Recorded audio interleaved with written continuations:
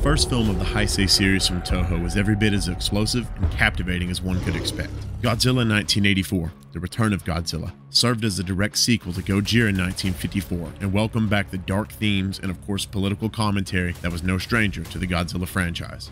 This is shown well by Godzilla's frightening new and deep roar.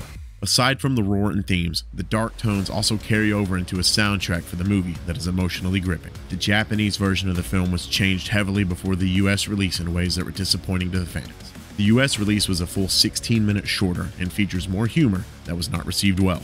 One shining aspect of the US release was the return of Raymond Burr Steve Martin. The film, of course, was about Godzilla's return, but part of the main plot is that the King's return ramped up Cold War tensions between the Soviet Union and the United States, leaving Japan in the crossfire as they attempted to deal with Godzilla. It was confirmed in 1991's Godzilla vs. King Ghidorah that this was not the same monster from 1954.